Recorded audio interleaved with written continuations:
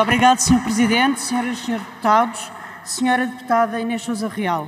Para nós é da maior importância o tema que nos trouxe e agradecemos essa apresentação.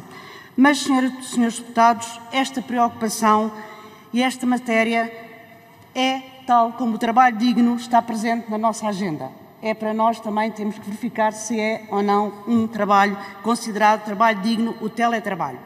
Senhora Deputada, é esta a razão que o PSD tem reiterado a necessidade de uma autoridade para as condições de trabalho forte.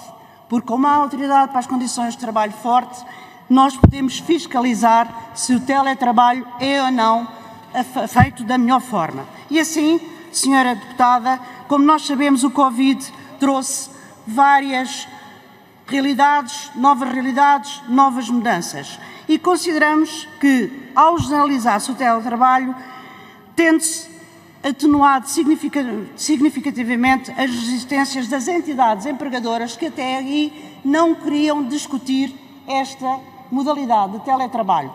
Então nós pensamos, o PSD pensa que devemos ter um amplo debate na sociedade, nomeadamente em concertação social, sobre o teletrabalho porque efetivamente o teletrabalho era usado apenas e muitas vezes havia resistências só para a conciliação de trabalho, família e vida profissional, como aqui disseram, apenas e só para as mulheres. E hoje todos os trabalhadores viram que é a necessidade e as empresas de, do teletrabalho. Mas nós, PSD, consideramos que esta generalização não, poderá, não terá sido da melhor forma e, por isso, consideramos que tem que existir um amplo debate e por isso agradecemos que o tenha trazido aqui. E a nossa questão é se concorda ou não que esta discussão deverá ser feita em sede de concertação social. Muito obrigado.